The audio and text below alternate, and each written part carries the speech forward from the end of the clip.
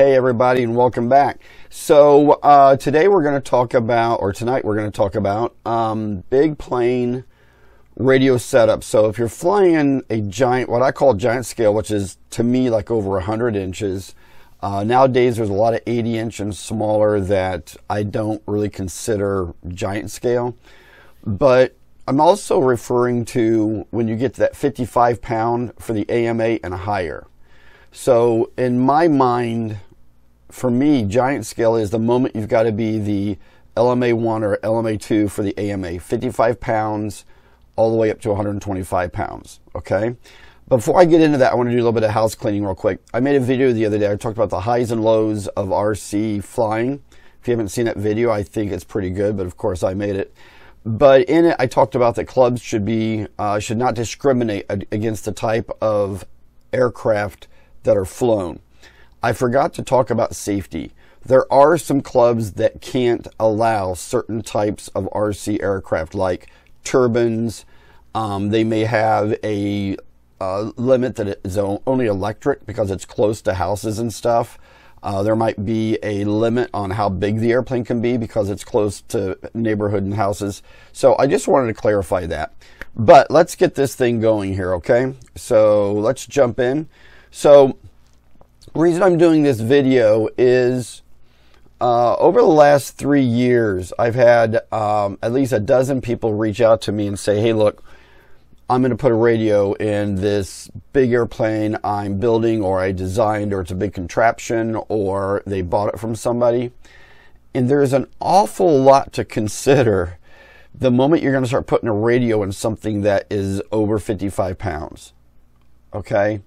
First of all, it's a big airplane. Um, I know a little airplane can do a lot of damage to a person, but big airplanes uh, are also perceived more dangerous. I've had people walk up and say, you can't fly that. That's not AMA legal. And I said, yeah, it is. It's like 60 pounds. You can't be over 55 pounds. There's a lot of AMA members have no idea that there's the program for over 55 pounds.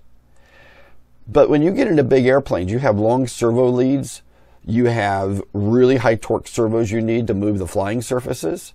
Keep in mind, if you're in that over 55, you have to show on your documentation or your paperwork that you have the right size servos. You have to, well, you, you, if you're the inspector for under 77 pounds, you have to sign off that you know that you've done the airplane right. If there's an inspector on it where it's over the 77 pound, they're going to look at your math to make sure you've got enough servo for the flying surfaces. So I'm really, really passionate about safety if you've ever watched my videos. So one of the things to think about is, and I've experimented, but I don't want to tell you this is the rule. This is what worked for me. You know, my videos, I'm only sharing my experiences and my thoughts. I don't go out there and become a Google warrior and try to tell you what I assume or uh, allegedly what I think is going to work. I know what works for me.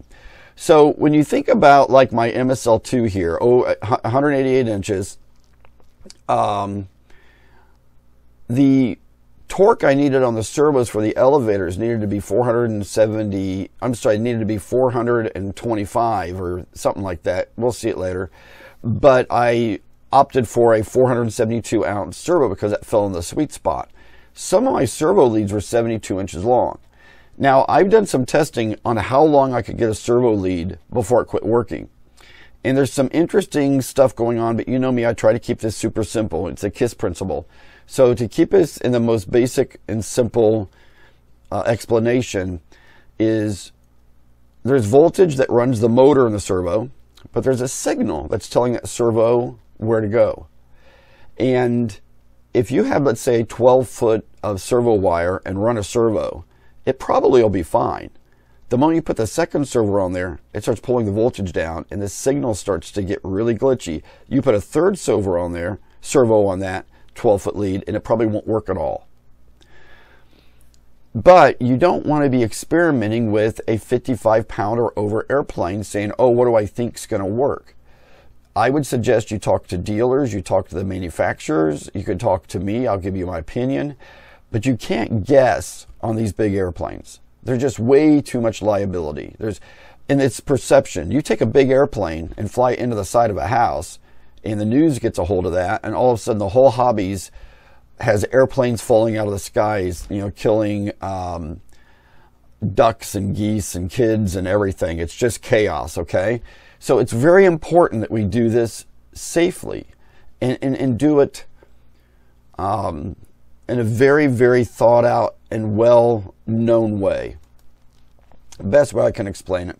So when I was building the C-130, I had already had experience with experimenting on my B-36, if you remember that. Now, both of those planes never flew, and I know there's some haters out there. I had to sell them because uh, I was running out of money for the hobby. But what I learned on both of those aircraft, the C-130 had uh, 24 servos and the B-36 had 42 servos. And I'm going to get really into this in a little bit. But what I want to talk about is all four of these planes here are giant scale. The MSL-1 flew off what I call a standard system, which was I had a receiver, had long leads, had high torque servos, and if I had two servos that needed to run off one channel, I used a servo Y. You know, it's a Y cable. That way you can put one servo, I mean two servos on a channel.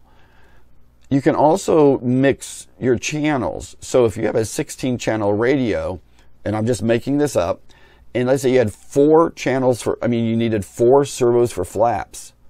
In your programming, you could use four channels to run those four servos. So I want you to think about this for a minute because I'm going to get into some really confusing stuff and I'm going to try to really say this as simplistic as I can. But a single channel coming out of receiver on a single wire running out 12 feet to a single servo. I tested and it worked flawlessly. But as you know, if I added a servo to it, it pulled down the voltage and the signal would fail and it wouldn't work. But if you have two channels, let's say channel 10 and 11, and 11 is programmed to your flap. I'm sorry, 10 is programmed to your flap, 11 is programmed to your flap. Both of those servos will move with your flap switch. Let's say you had four servos for the flaps. You could do channels 10, 11, 12, and 13 all the way out in theory to 12 foot leads to 12 to four servos and you would be glitch free. But there's new systems now that you don't need to do it. I call that old school. Now, you could still do it and do it fine. So if you had a 16 or 18 channel radio and you knew how to program it, you could very quickly use um, multiple servos for the elevators, multiple servos for the ailerons, and just programming it into the right channels. Okay. So when we think about the C130, and I'm just going to talk really briefly on this, and I'll, I'll dig into this in a minute. I spent hours and hours trying to figure out how I'm going to make a 24 servo layout work a little bit more cleanly than my B36 did. My B36 had four receivers. My C130 is going to have one receiver with a system called S-Bus. And I'm going to dig into that in a minute. But the four receivers is what I called old school because I needed channels. S-Bus, uh, and there's also a power box out there, and I'll talk about that toward the end too. So I don't want everybody think I'm just favoring one type of program here, even though I am totally in love with Futaba and I won't use anything but Futaba. Before I get too deep, I want to talk about my sponsor, RTL Fasteners. Fantastic people. You need blind nuts, washers, lock washers, nylocks, uh, metric, standard, servo screws. They've got it all. And if you use a super top secret code DA30 and you buy more than $50 in product, you'll get 30% off your order. So now we're going to talk about um, what radio I need. Okay, now just earlier we talked about how many servos you're going to need. Now we're going to talk about the radio, but we're going to kind of loop back around to the servos when I talk about the system. So I'm in love with the um, 18SZ Futaba. Um, it's not a cheap radio, but it's not a $3,000 radio. Okay, um, I think they're around a grand, thousand dollars, something like that. Maybe times have changed, but I think I paid that.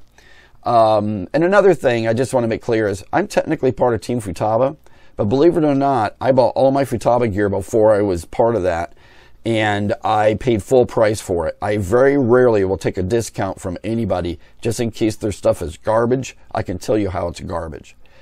But I fell in love with the Futaba, and I fell in hate with Futaba.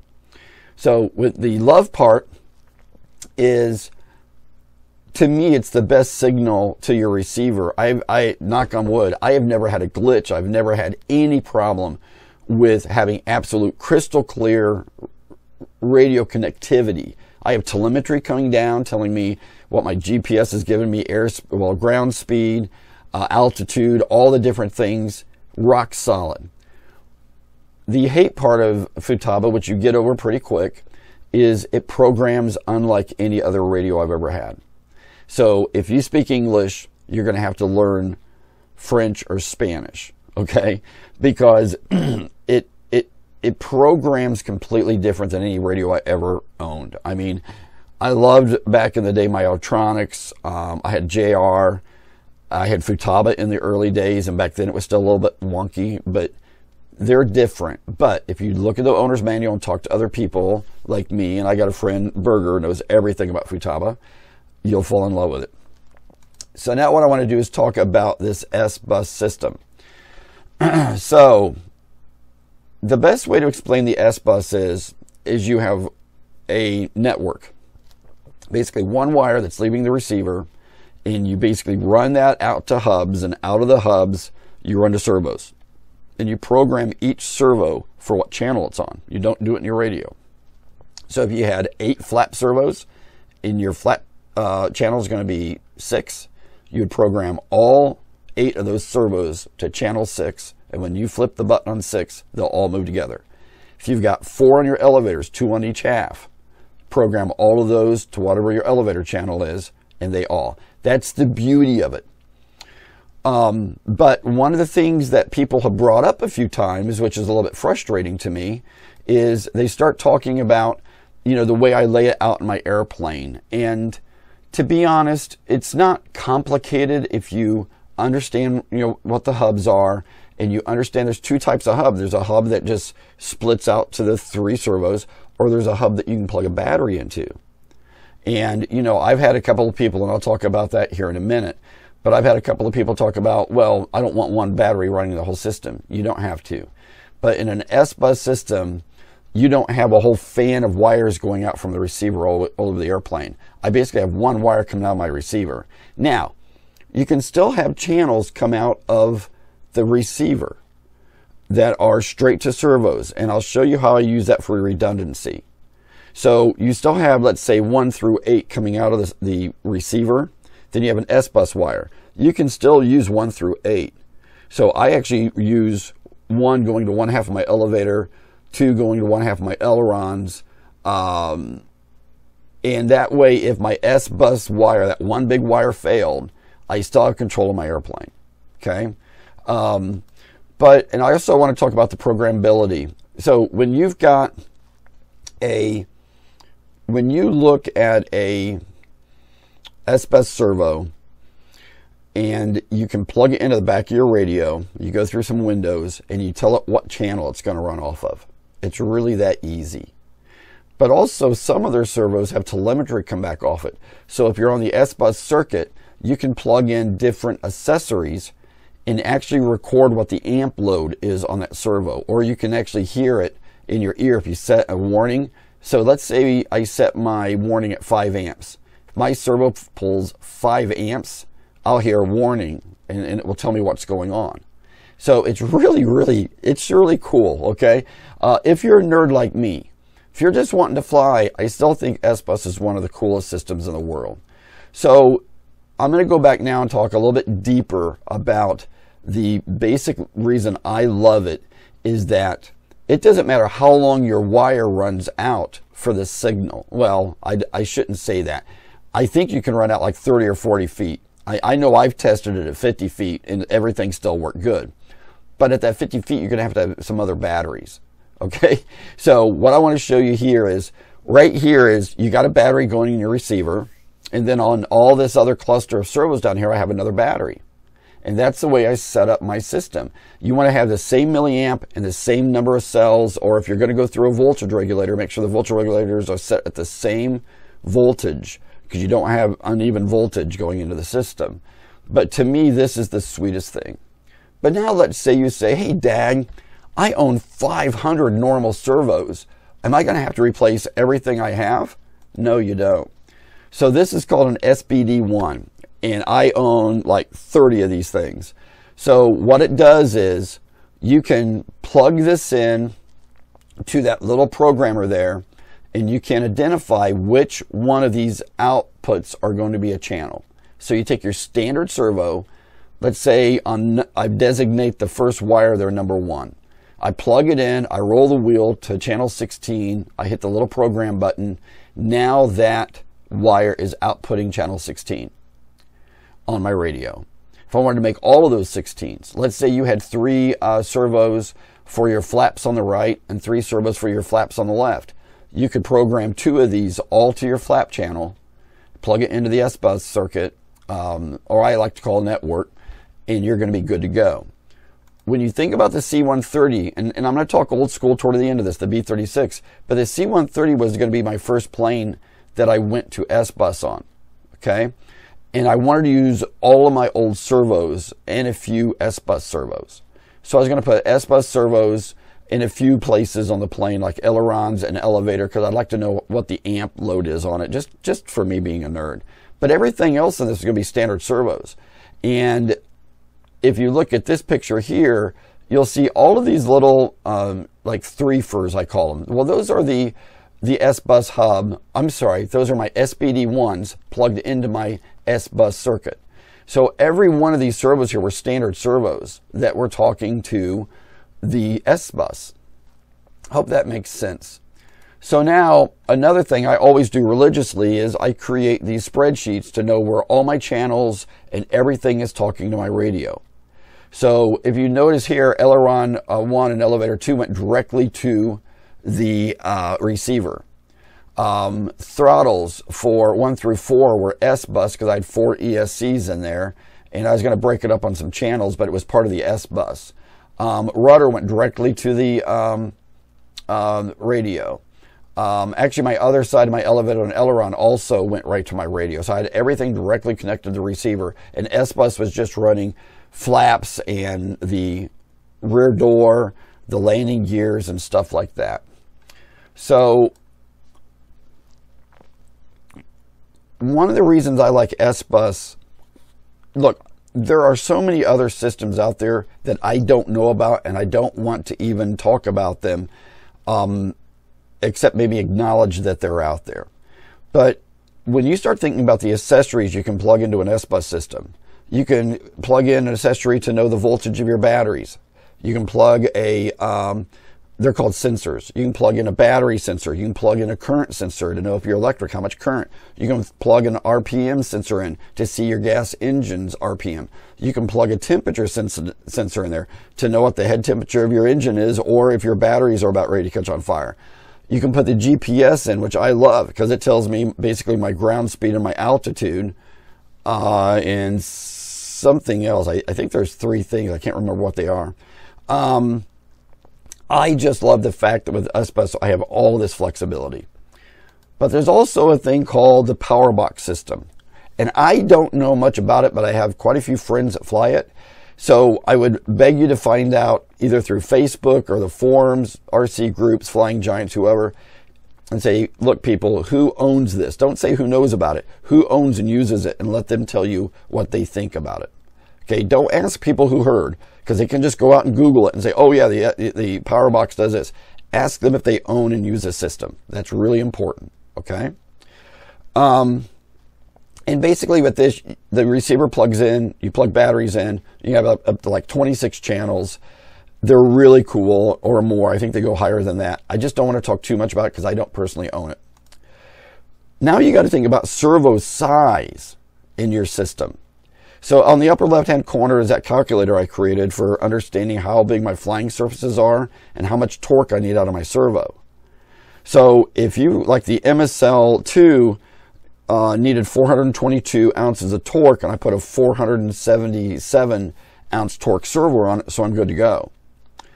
But I also flew a 90 inch plane one time. Now it didn't weigh 55 pounds, it weighed about 46 pounds. It was a lead sled and um, we ran out of elevator coming out of a big loop and just about crashed it because we stalled the servos.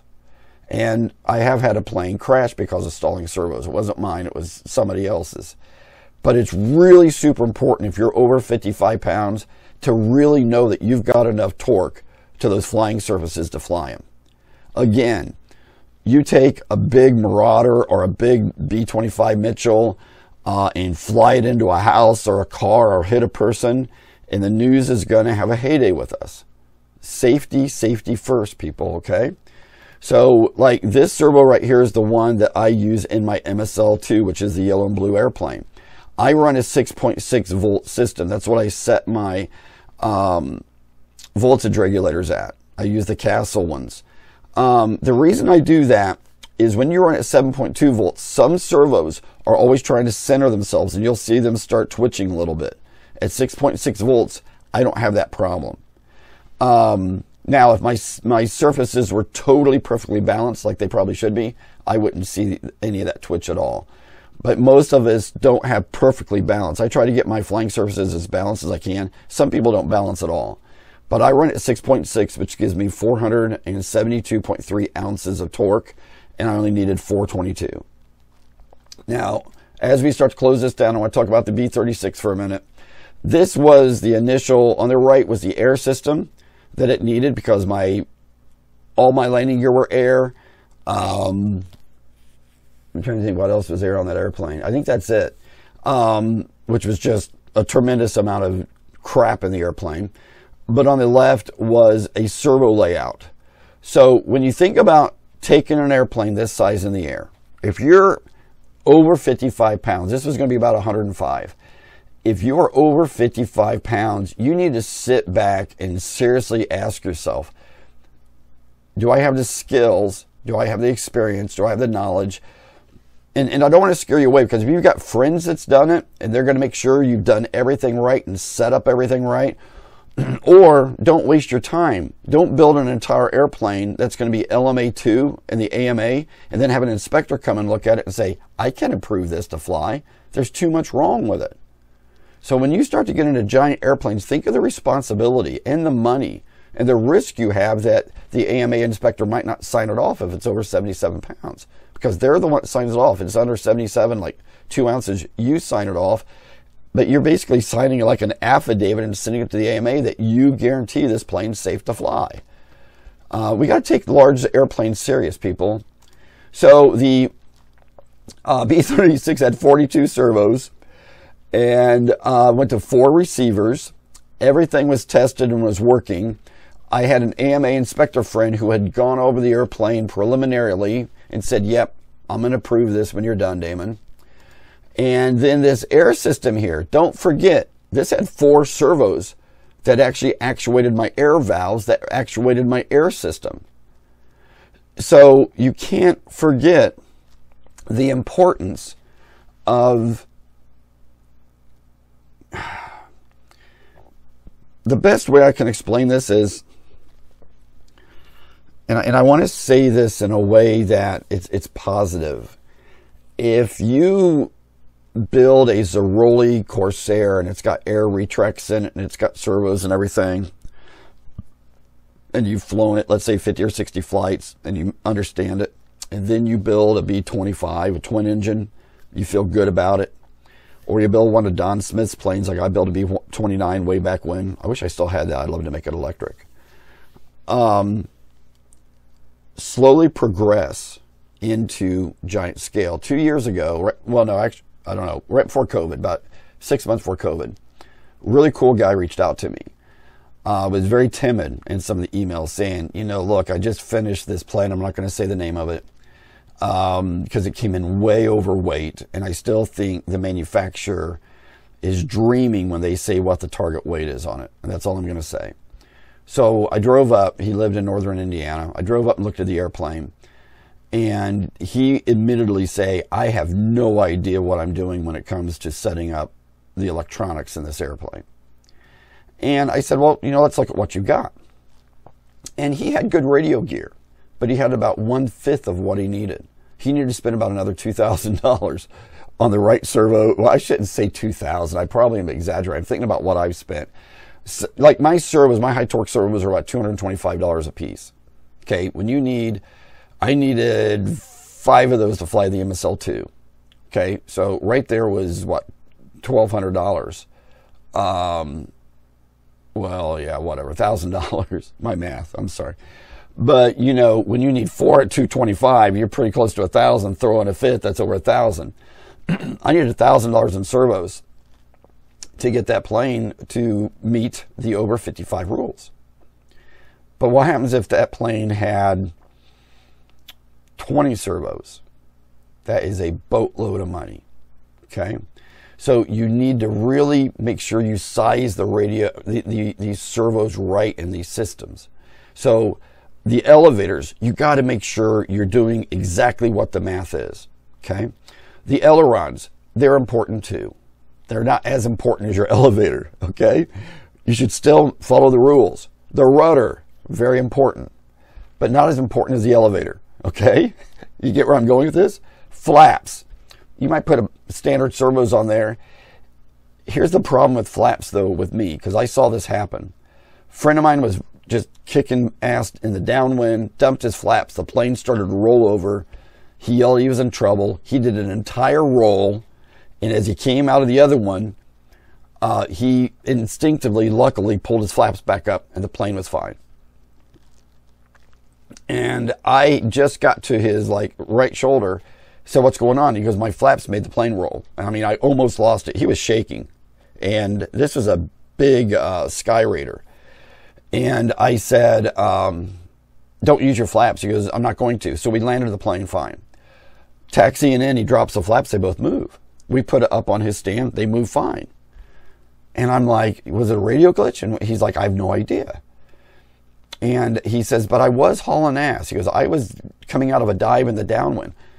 So I held his, his, um, flaps and he dumped them and I could basically hold them up.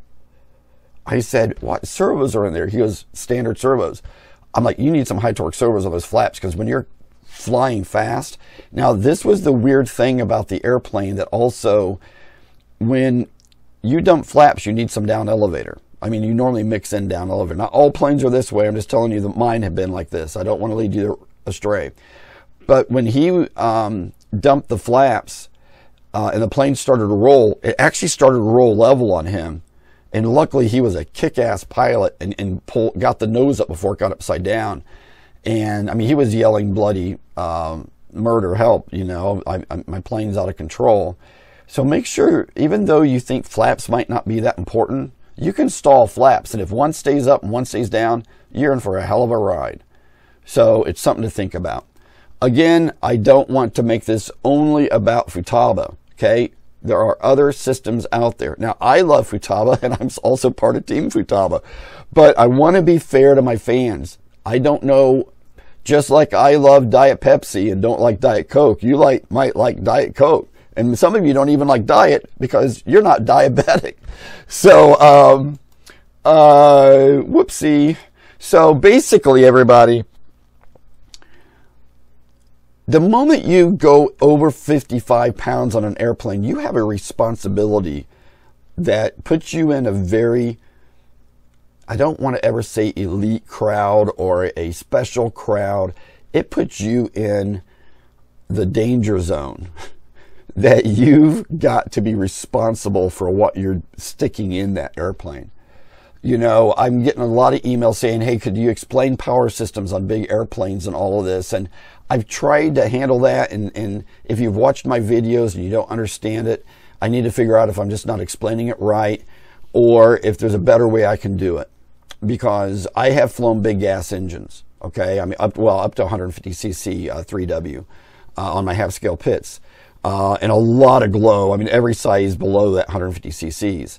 Um, but I guess what's important is that you really understand. Um, you, you know, it's like I've done videos on the S bus. If you want to go and search DAG 214 S-Bus Futaba. You'll probably find my other YouTube videos where I dove in a little bit deeper on it. But it's just really important that you understand that um, I always try to be kind to people, but sometimes I just shake my head because the radio systems that people jam into an airplane and that wire, you know, I saw a guy one time with the stick he uses to start his propeller. When he put his wing on, he was using that to jam the wire down into the fuselage so he could get the wing on. You don't realize that radio is what makes your airplane safe. Okay? I see people having brownout on airplanes that they just kind of go dead and then they get it back and they go, wow, I wonder what caused that. Well, then we look at it when they land and they got little micro servos on huge flying surfaces. They're jamming that little servo up. They got a 4.8 volt battery in there, and then they're wondering why a, a servo stalled.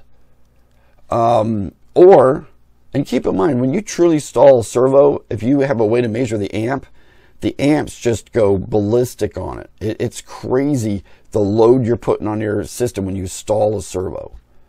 So um, I hope you appreciate these videos, everybody. I'm trying not to, I'm trying to stay safe. So I just don't have people saying, well, that's garbage. Because this is what's worked for me. So it's not garbage to me. Okay? So if you're building, um, and there's plenty of beautiful big birds out there if you don't know exactly how to do it, because I've got three people right now that's reached out to me just in the last month and a half saying, Hey, I've got some pretty big birds. Can you help me or talk to me about it? I love to help people. Um, and it's one reason I decided to go ahead and get this video done because big airplanes are really starting to pop up at the airfield. And I just want you all to think about what that means to you. And as I end this, I'm going to explain one thing that really bothers me about over 55 I have met what I would call pretty well known pilots in our industry that fly 60 pound airplanes, 58 pound airplanes, and say they're 55 because they know no one's going to ever weigh it. And that's true. I mean, if somebody came up and said, Hey, we're going to weigh your airplane, I'd say, Okay, do it, but I'm leaving. If you can't trust me that I've got the paperwork and I'm not a liar, then I'm out of here. But on the other hand, I get it because I know people who have flown over the 100 pound limit when it used to be 100, called it 100. Flew over 55, called it 55. I don't know if anybody's flown over the 125 with because they upped the limit, thank goodness. But if you're lying, you're going to be liable. Because believe it or not, if there's an injury or somebody's hurt, then they're going to weigh that airplane. And they find out you're outside the AMA guidelines, and the AMA is like, we can't help you. So just think about safety first. Okay. So rock on everybody. Thanks for all of the people that subscribed this last 28 days. My YouTube's finally starting to gain traction. Please like and subscribe if you haven't and let me know what kind of videos you want in the comments. Take care everybody. Be safe and have an awesome uh, night or day or morning, wherever you're at. Rock on.